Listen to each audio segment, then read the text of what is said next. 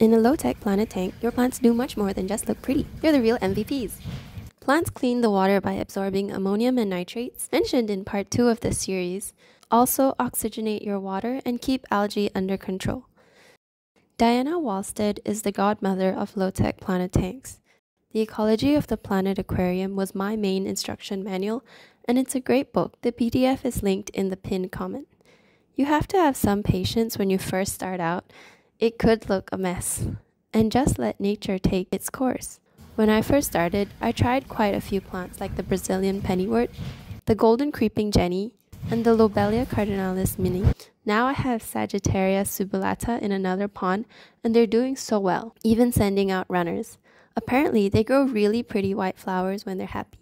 If you're a beginner, stick to green, fast growing plants. They're forgivable, affordable, and effective. And honestly, this is just the beginning. You should also add marginal plants like papyrus and floaters like salvinia.